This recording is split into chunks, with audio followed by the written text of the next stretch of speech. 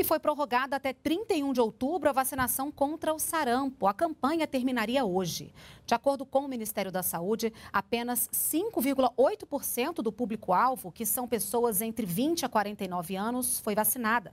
Mais de 4 milhões de doses da vacina foram enviadas para os mais de 43 mil postos de saúde do país. O Ministério faz o alerta de que a principal medida de prevenção e controle do sarampo é a vacina. Neste ano, até julho, foram confirmados mais de 7 mil casos da doença. O sarampo é uma doença grave e a transmissão do vírus ocorre por via aérea, ao tossir, por exemplo, espirrar ou falar.